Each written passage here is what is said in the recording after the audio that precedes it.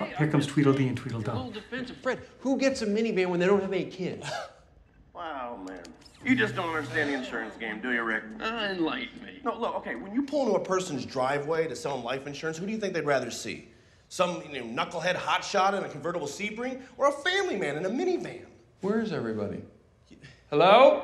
Guys, we're in here. They can't hear you. Room's completely soundproof. And bulletproof. Also, Curt Schilling's been in here.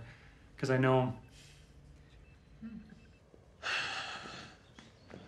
I guess they must have gone upstairs. Look at this fucking thing. I feel bad for Ed junior mm-hmm. I mean, it's one thing if you want to look like Admiral Dipshit, but then you got to do it to your kid. Look at that little. Awful. I'll get him like looking like Thurston Howell too. No. Eh. Thanks for coming to the war room, old chap.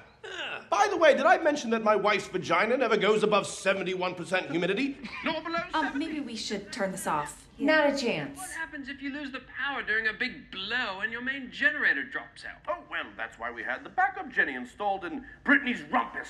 Here we go. Good show. In the rumpus. Right you say. inside, yes. And there's room in there with the stick in there Oh, already. then rotate the stick a little bit. Oh, so then it gives you a little room to get it up there. Absolutely. You can wedge anything in that ass. Your English accent's Thank great. you. Hey, speaking of installations, what about the shiny new set of cans of Mandy Bohack? Am I right? Oh, yeah. Yeah. Either that or she's buying her t-shirts at Baby Gap.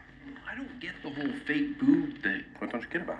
I like my bongos a little mileage on them, like Britney's. Ah, Brittany's? No way. Those are like Baja miles.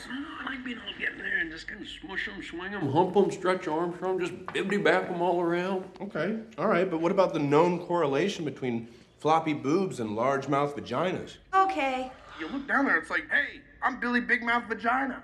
Home, home on the range, where the big mouth vaginas feel strange, where nothing is good, and it can't fit your wood. Keep it down. You know what I mean?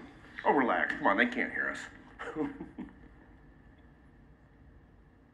You people are horrible! Horrible! Very disappointed, gentlemen. Very disappointed.